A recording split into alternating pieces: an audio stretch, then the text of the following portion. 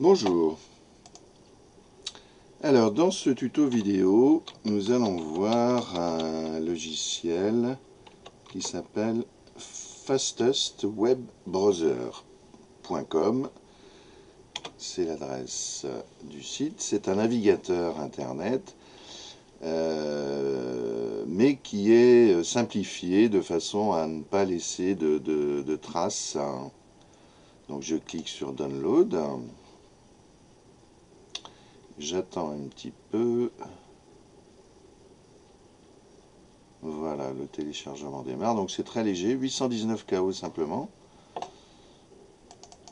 Je clique dessus et il s'ouvre sans installation. Donc c'est très pratique. Vous pouvez le, mettre sur une clé USB puisqu'il n'y a, pas d'installation à, faire.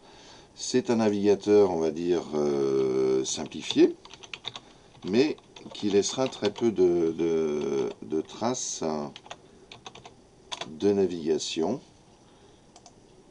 avec les commandes euh, retourner, euh, euh, page précédente. Donc il n'y a pas les marque-pages, mais en tout cas ça permet de surfer facilement